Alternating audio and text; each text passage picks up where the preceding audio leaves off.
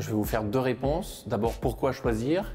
Et ensuite, euh, rosé, évidemment. Et si c'est du rosé, c'est du Tavel. Alors, euh, spontanément plutôt brune, mais évidemment, je suis marié avec une blonde.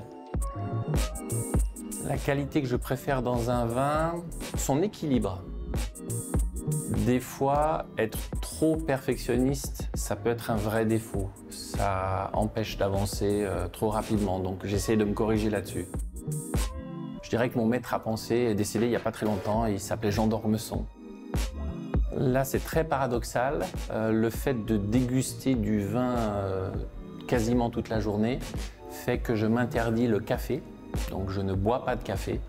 Et un de mes arômes préférés, c'est la torréfaction.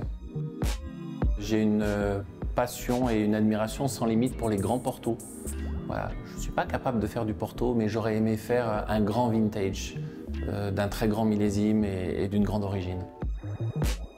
Très facilement, euh, la famille et les amis, tout simplement.